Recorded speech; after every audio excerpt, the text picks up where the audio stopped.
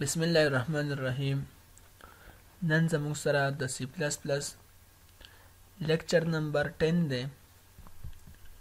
په آی ټی انلاین اکیډمي چینل کې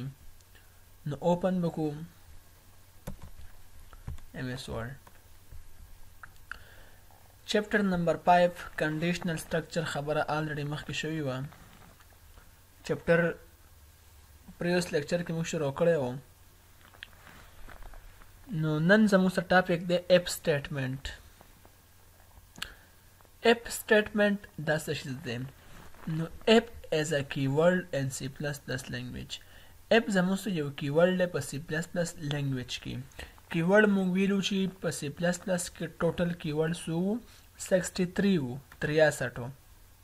نو دا پکې هم یو کیورډ دی او کیورډ ته موږ دویم نوم وایو نو هغه دویم نوم تاسو پلیز کمنټ کې ماته میسج کړئ ټیک ده چې موږ ورته دویم څه نوم وایو نو دا تاسو خامخا ماته میسج کړئ چې دوی دویم نوم څه اف سټیټمنټ از ا ډیسیژن یا میکینګ سټیټمنټ اف سټیټمنټ زموږ سره یو فیصله کون یا یو سټیټمنټ څه کوي جوړوي مطلب د دې خبرې دا ده چې اف سټیټمنټ به زموږ سره فیصله کوي خو په کنډیشن باندې یا به خبره ټرو کوي او پالس کوي اټ It is the simplest form of selection constructs. دا زموږ سره یو سیمپل فارم دی د سلیکشن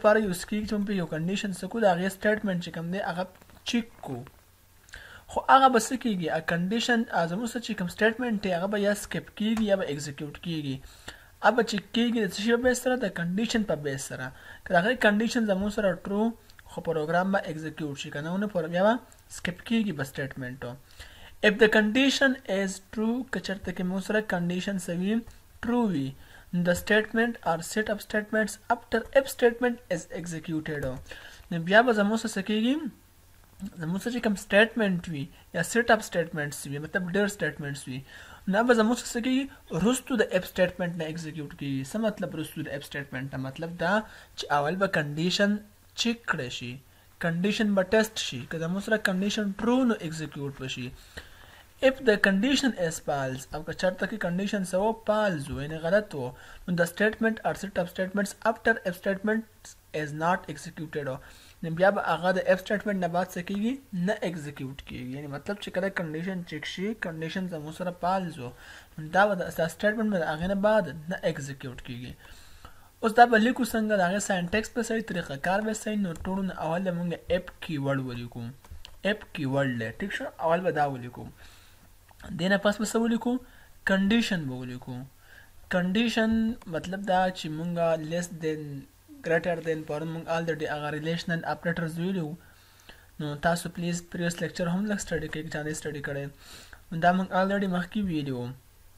دلته به کنډیشن ولګو دا غینه پس بس اخلو سټیټمنټس اخلو تاسو به وایي چې دغه کې باډي نشته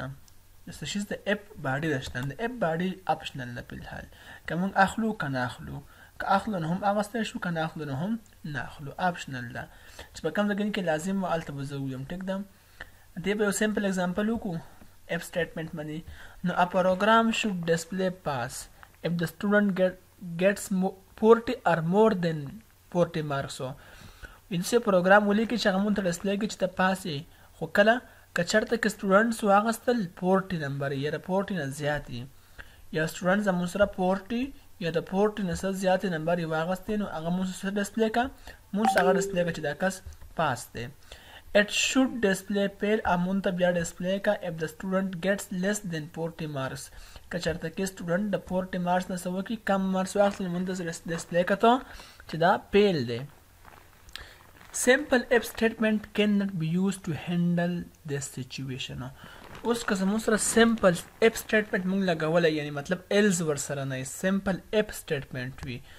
نو زموږ سره به څه کېږي بیا زموږ سره دا سچویشن دا نشي هینډل کولی د اف سټیټمنټو ځکه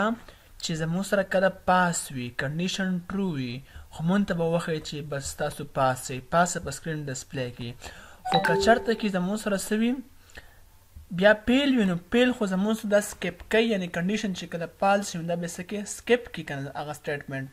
نو چی کله سټیټمنټ سکیپ شي نو مونږ ته په سکرین هیڅ ډسپلی نشي نو په دی سچویشن کی دا بیا نه هینډل کوي نو دی څه مونږ بیا روستو به تاسو خیر هم ووایې دی څه مونږ روستو بیا لګو ایلز نو بیا دا سچویشن څه کوي هینډل کوي. نو په دې به یو سیمپل پروګرام ولیکو تاسو به پوه شئ چې رائټ ا پروګرام دیټ انپوټس مارکس اینډ ډیسپلی داسې پروګرام ولیکئ چې یوزر د کیبورډ نه مارکس انټر کړي او هغه ته وښودل شي په سکرین ډسپلی شي چې کنګریچولیشن یو هیو پاسټ مبارک شه ته پاس یې خو کله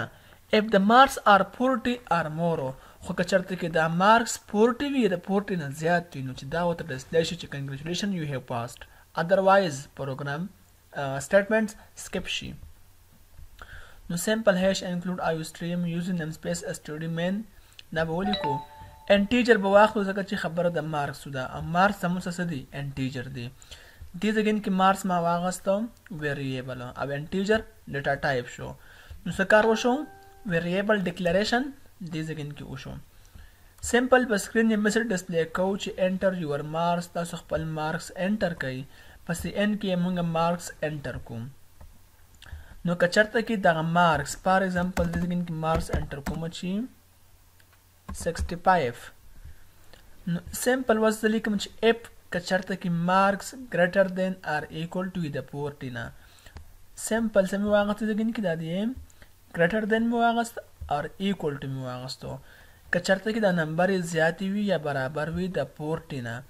نو ته مونږ ته په سکرین ډسپلی که چې کنګریچولیشن یو هیو پاسټ مبارک شه ته پاس یې خو که چرته کې دا مارس د فورټی نه کم وي دا مونږ چې کوم مارس انټر کړل د کیبورډ نه که چرته کې دا فورټی نه کم وي نو بیا به څه کیږي سټیټمنټ به سکیپ کیږي ښه په سکرین به هیڅ نه ډسپلی کوي خو که چرته کې د چار د فورټی نه سوي زیات وي نو بیا مونږ ته دا میسج په سکرین ډسپلی کیږي فی الحال بل څه داسې کار وشي آوټپوټ کې چې انټر یور مارس فار ایگزامپل ما مارس انټر کړو 65 نو مونږ ته به 65 مارس د 40 نه زیات دي نو مونږ ته په سکرین ډسپلی شي چې کنګریچولیشن یو هیو پاسډ دا سیمپل په دې باندې یو ایگزامپل نو امید دی تاسو په دې باندې پوه شوي یئ ایکسل کې هم مونږ دا بار بار کوو بل یو پروګرام دی پیچ رائټ ا پروګرام دیټ انپوټس ټو نمبرز اینډ فاینډز ویدر بوت آر ایکوال داسې پروګرام ولیکئ چې دوه نمبر یې مونږ څه کو انټر کو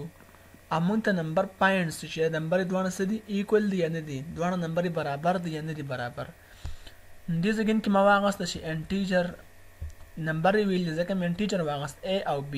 دو ویریبل مې واغست ځکه چې ټو نمبرز یې ویل دي نو دوه مې ویریبل واغست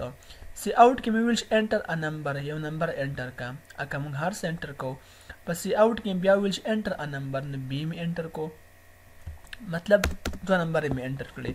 نو فار ایگزامپل دې ځګین کې ما یو انټر کو چې 7 او په دې ځګین کې فار ایگزامپل ما یو انټر کو چې 9 په دې ځګین کې موږ سره راشي رزلټ اف اې که برابر وي د بي نو ته مونږ ته په سکرین ډسپلې کا چې بوت نمبر ار ایکول دواړه نمبر څه دي برابر دي خو دلته کې مونږ په یو کې څه انټر کړل 7 او بل کې څه انټر کړل 9 کنه نو مونږ ته په سکرین څه ډسپلې شي په الحالو سکیپ پشي ایس په ډسپلې نشي ځکه چې زموږ څه کنډیشن پالس دی اې کې 7 دی بي کې 9 دی نو 7 د 9 برابر دی نه دی برابر چې برابر نه نو کنډیشن څه شو پالس شو چې کنډیشن پالس شو نو مونږ ته په سکرین هیڅ نه ډسپلې کیږي بس سټیټمنټ به سکیپ شي اوس که مونږ داسې وکړو فار ایگزامپل دې ځګین کې هم ما 9 انټر کو په ون کې او په سیکنډ کې مې هم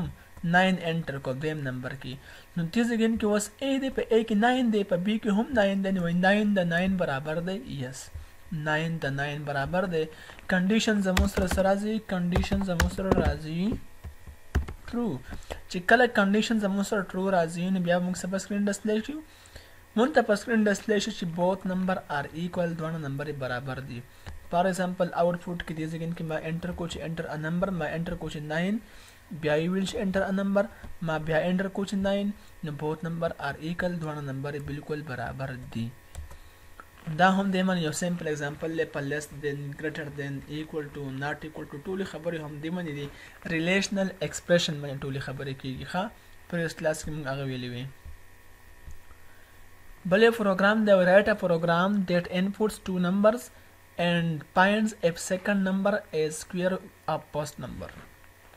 چې تاسو دوه نمبري د یوزر نه واخلئ د کیبورډ نه واخلئ او موږ ته دا پاینټ کړئ چې دا دویم نمبر سکویر دی د اولني نمبر تاسو بلک کنفیوز دي کې دې سي سمپل اگزامپل داسې دی کنه چې داسې پروګرام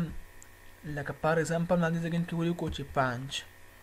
نو د پنج چې موږ سکویر واخلو نو څه به راشي یعنې پنج ضرب پنج څه به راشي موږ سره انسر انسر به موږ سره راشي پر ایگزامپل انسر دی راځي 25 پنج پنجا پچیس انسر راځي نو وای داسې وکړئ که چېرته کې موږ د اولنی چې کوم نمبر انټر کړلی که دا سوي کوېسچن کې سوی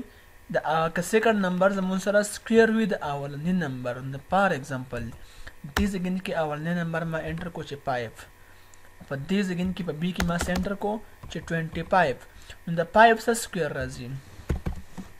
د 5 سکویر سره راځی 25 راځی کنه 5 50 25 راځی کنه نو چې کله دا راځی نو مونږ ته نسوخه چې سیکنډ نمبر سکویر اپوست نمبر نو چې کله موږ په فرست کې سنټر کو 5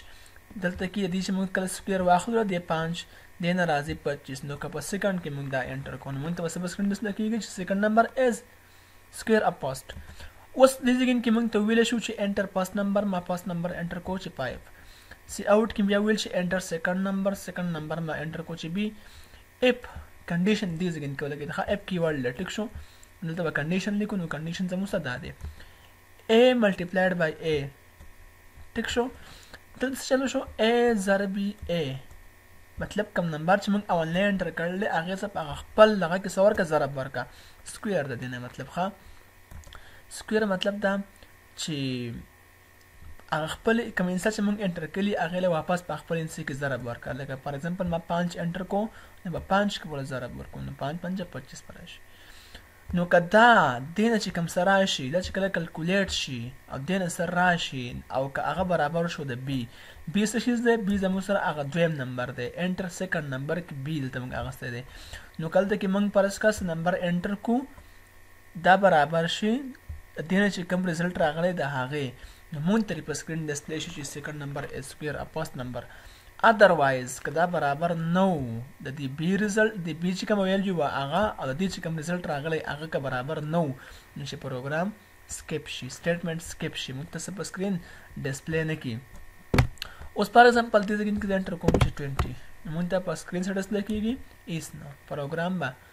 دا سټیټمنټ به څه شي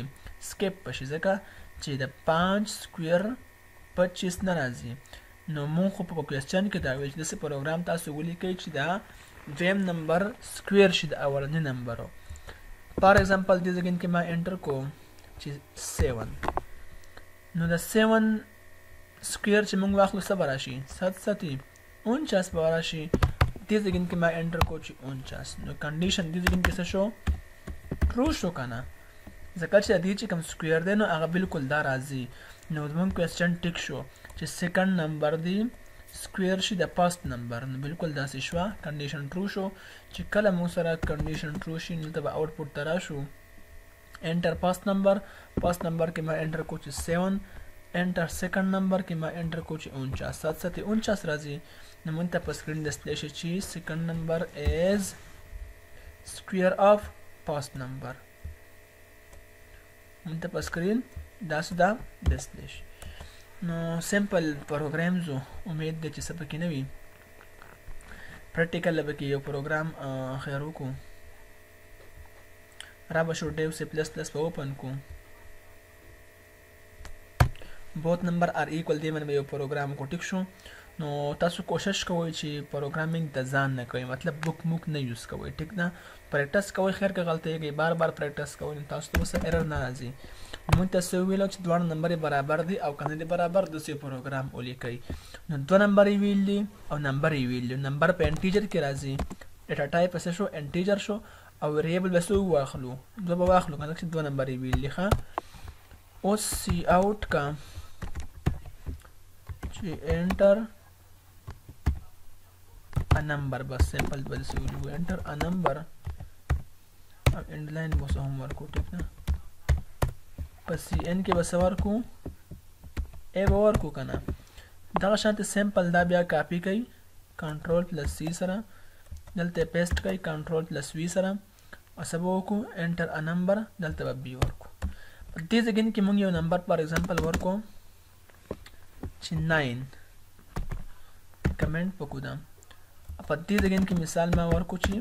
7 زه به کنډیشن ولګوم چې اف اف کیورډ دی چې کوم څه کیورډ وي که نه نو هغه زموږ سره داسې بولډ کېږي لکه تاسو دې ته وګورئ